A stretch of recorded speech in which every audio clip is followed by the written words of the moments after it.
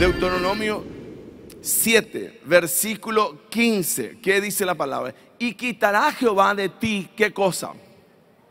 Toda enfermedad y todas las malas plagas. Digan conmigo, fuera las plagas. las malas plagas de Egipto que tú conoces, no las pondré sobre ti, antes las pondrás sobre los que te... Entonces, mientras la gente te aborrece, Dios se encarga de tus enemigos. Es la voluntad de Dios que usted, cuando Cristo llevó nuestra enfermedad, cuando Cristo llevó nuestro pecado, que sigamos en pecado.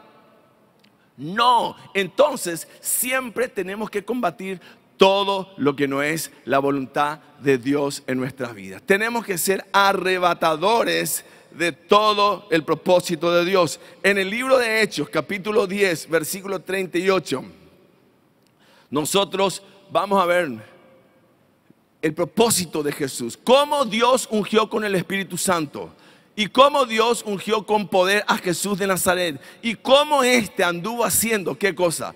Bienes. Número dos, sanando a todos los oprimidos por el diablo porque Dios estaba con él. Quiere decir que la opresión hay que traer sanidad a la opresión y ese fue el ministerio de Jesús.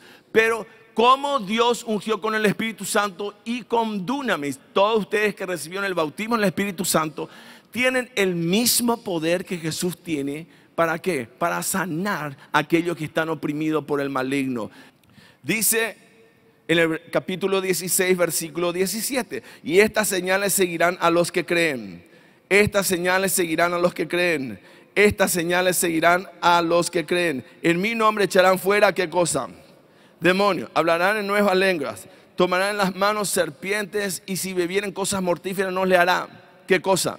Daño. Sobre los enfermos pondrán sus y sanarán. ¿Qué tenemos que hacer?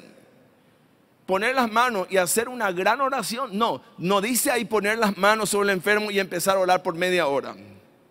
Amén. No dice eso. Entonces, ¿qué tiene que declarar usted? Si Dios te dio la autoridad y te ungió como a Cristo y estás lleno del Espíritu Santo, vos tenés el poder para sanar en el nombre de Jesús. Porque Jesús sanaba y le decía, sé limpio y él era sano. Y nosotros, ¿qué tenemos que hacer?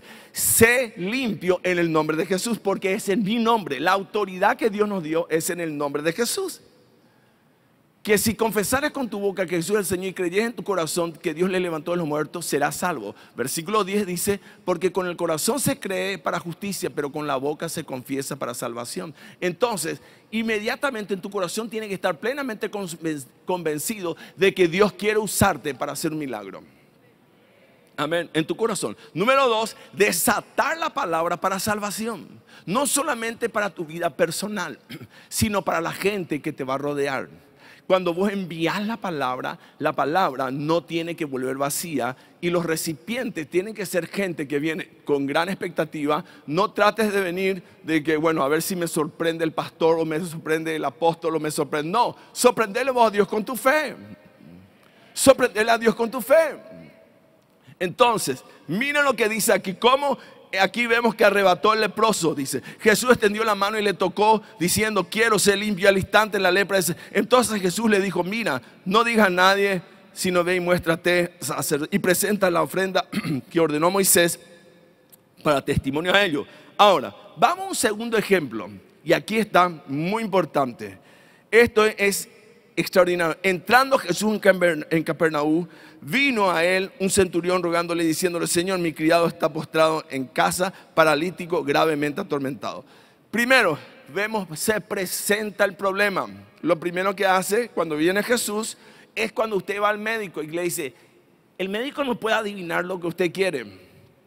Jesús sabía, pero era importante liberar la necesidad. Tengo este problema entonces, cuando usted va al médico y le cuenta, tengo esto, y él le va a dar una receta que va a atacar directamente el problema. En este caso es la fe suya presentando su problema y usted va a entender que su fe va a activar milagrosamente sin que usted pueda entender la tecnología de Dios.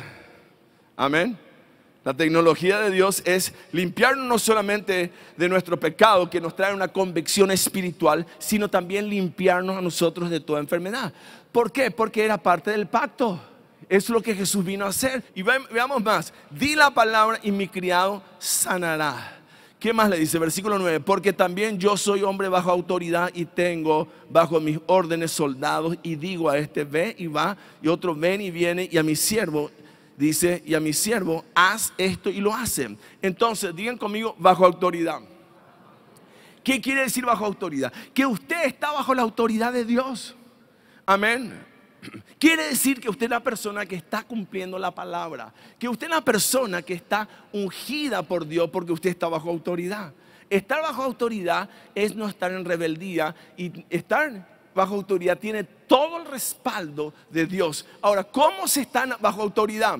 Sencillo, el centurión vio la vida de Jesús, socorro, pero Jesús, miren lo que dice aquí en capítulo Mateo 3, 15, pero Jesús le respondió, deja ahora porque Así conviene que cumplamos toda justicia, hablando del bautismo de Cristo. Cristo vino a bautizarse y Juan le dijo, no, yo no te puedo bautizar. Y Jesús le dijo, deja ahora porque así conviene que cumpla toda justicia. Entonces le dejó y Jesús después que fue bautizado subió luego del agua y aquí los cielos se le fueron abiertos y vio al Espíritu de Dios que descendía como paloma y venía sobre él. Y una voz de los cielos que decía, este es mi Hijo amado. El reconocimiento de Dios tiene mucho que ver que estoy bajo autoridad. Amén. Entonces, estar bajo autoridad es cumplir toda justicia y Dios tiene complacencia en nuestras vidas. Y para cerrar hoy día, dice, porque también yo soy, versículo 10, al oírlo Jesús, ¿qué le dijo? Se maravilló en el versículo 10 del capítulo 8 de Mateos, 8, 10, y al oírlo Jesús y dijo a los que le seguían, de cierto os digo que ni aún en Israel he hallado tanta fe. Y dice, en versículo 13 que dice, entonces Jesús le dijo al centurión, ¿qué le dijo? Ve y como creíste, te sea hecho. ¿Hizo una oración larga Jesús? No, le sorprendió la fe y le dijo, ve, te he hecho como creíste. Y su criado fue sano en aquella misma hora.